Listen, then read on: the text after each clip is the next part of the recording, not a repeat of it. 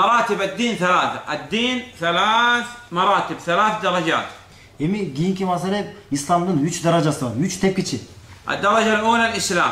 Yani birinci derecesi bu degen İslam. أعلى منها إيمان.